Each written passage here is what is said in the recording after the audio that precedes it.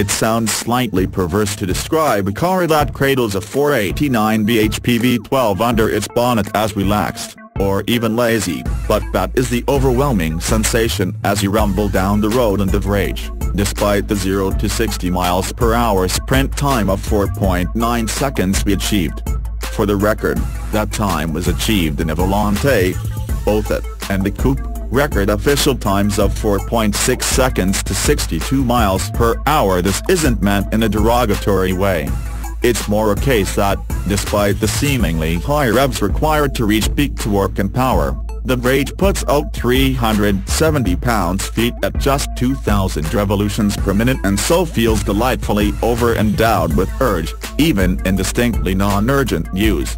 In this sort of situation, with the gearbox in full auto mode and sport mode off, the Virage is impressively laid back and yet absorbing transport. It's easy to drive but never lets you forget that it's a supercar, and that it's just one driver input away from being fully focused on making life thoroughly dramatic. In which state the Virage is equally rewarding. Putting all the adaptive elements to maximum attack doesn't so much transform the Virage as wake it up everything becomes more alert.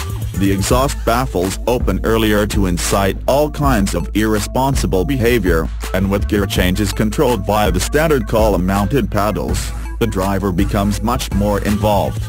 This ability to shift between relaxed, easygoing cruiser and a wholly more intense experience is something that differentiates the Virage from its nearest siblings, giving it a broader ability in both disciplines rather than a specialism in either. It's marginal but still a tangible and defining element of the package, and one that's made to work mainly because of the depth and reward on offer from the V12 motor. Which isn't to say that it's flawless. The gearbox, although acceptable, is still too slow to react when you want every last ounce of performance, occasionally pausing too long and generally lacking the polish and speed that you might expect of such a high-end car.